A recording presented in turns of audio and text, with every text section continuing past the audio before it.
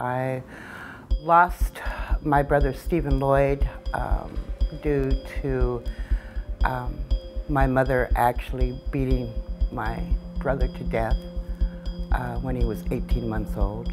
My mother had physically picked me up and threw me back downstairs in our home. I ended up um, surviving with a plate in my head and um, reconstructive surgery.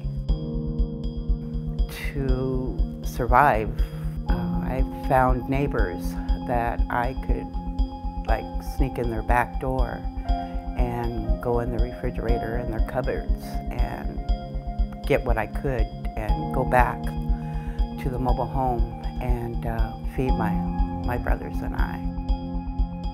My daughter um, went to, on her way home from a movie.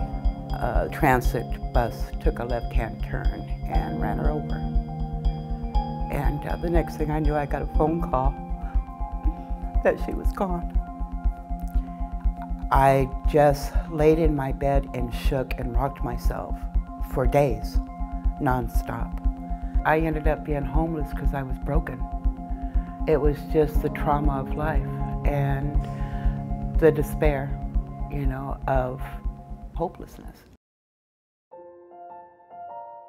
I didn't know exactly anything about Hope Place. I just knew the name and it was the word hope. And this felt like a safe place. I could feel it, that it was a safe place. They just didn't put me in a room and leave me alone. The volunteers and the staff here, that I'm, their arms are just wrapped around me. That is such a big, tremendous heal, healing in itself, to know that you're not going to be alone.